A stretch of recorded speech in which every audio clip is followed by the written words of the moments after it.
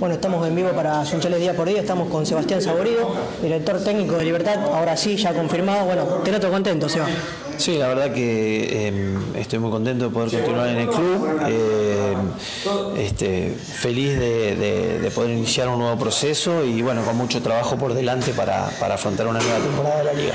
Bueno, va a ser un desafío duro ahora, ¿no? Porque bueno, si fue un desafío ya el pasado, imagínate lo que va a ser este.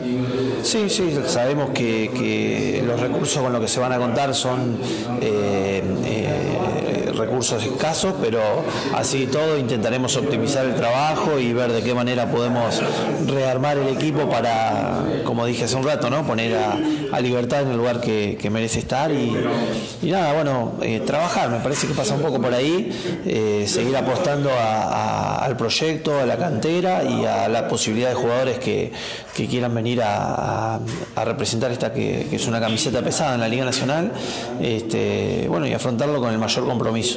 Bueno, ¿y cómo competís con grandes potencias como San Lorenzo, Instituto, no solamente lo económico, sino dentro de la cancha? Con lo económico es imposible este, y con respecto a, dentro de la cancha eh, me parece que es como te decía, ¿no? intentando optimizar las piezas de la mejor forma posible y trabajando. Eh, Libertad el año pasado lo hizo con, chicos jóvenes, apostando.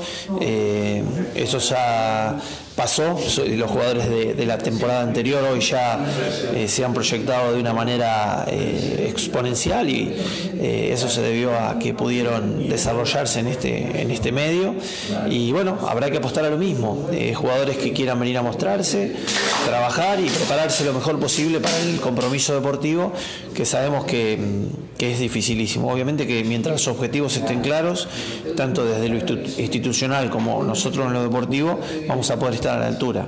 Este, me parece que la, clave pasa un poco por ahí. ¿Y cuál es el objetivo del equipo de Sebastián Saborido?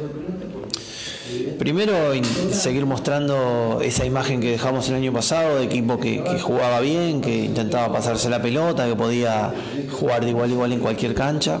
Eh, bueno, es, empezar desde cero otra vez este año, así que eh, tratar de mantener esa filosofía y, por sobre todas las cosas cumplir con el objetivo de que Libertad siga estando en este lugar, que es un lugar que realmente merece. Bueno, te voy a hacer una última pregunta, va a ser más personal. ¿Cuál sería un sueño de Sebastián Saborio? Hace 25 años que estás en el básquet, si bien me decías, tuviste antes de llegar a Libertad en el banco de suplente de Salta Básquet como ayudante. ¿Cuál sería después el objetivo de Sebastián Saborio?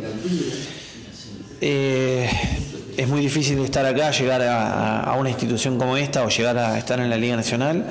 Eh, me parece que eh, sostenerse sería eh, el desafío siguiente, estar eh, en este nivel el mayor tiempo posible, para eso hay que prepararse es un, eh, compromiso y un desafío de estudio de todos los días.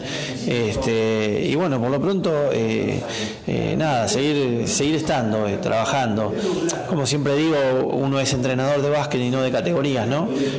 hoy le toca estar en este nivel y, y el próximo sería, no sé, por ahí tener alguna vez alguna chance de eh, acercarse a una selección argentina, pero sería un sueño demasiado lejano, me parece, como para visualizarlo. Así que disfrutar este momento por sobre todas las cosas y agradecer a, la familia que tanto te apoya para poder llevar adelante una profesión muy difícil como esta.